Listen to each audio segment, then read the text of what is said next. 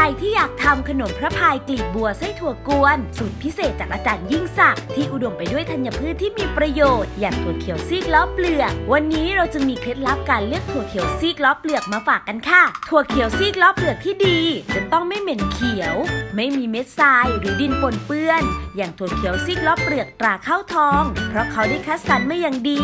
คุณผู้ชมมั่นใจได้เลยค่ะ ว่าสดสะอาด อย่าลืมนะคะ เลือกคุณภาพเลือกตราข้าวทอง